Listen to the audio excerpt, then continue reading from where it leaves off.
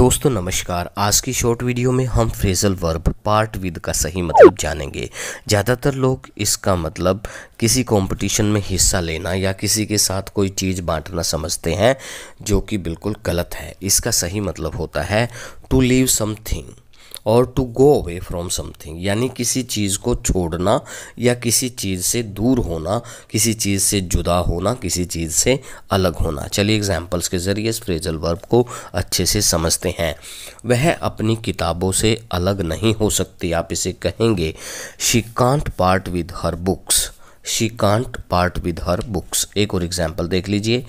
अपने खिलौनों से अलग होने की कोशिश करो। आप इसे कहेंगे try to part with your toys try to part with your toys अब एक सेंटेंस आप ज़रूर ट्राई करना। मैं अपनी बाइक से अलग नहीं हो सकता। आप इसे इंग्लिश में ट्रांसलेट करके कमेंट बॉक्स में ज़रूर लिखने की कोशिश करना। आज के लिए इतना ही प्यारे दोस्तों। बहुत जल्द मिलते हैं नई वीडियो में। नई इंटरेस्टिंग टॉपिक के साथ। जय हिंद। जय भारत।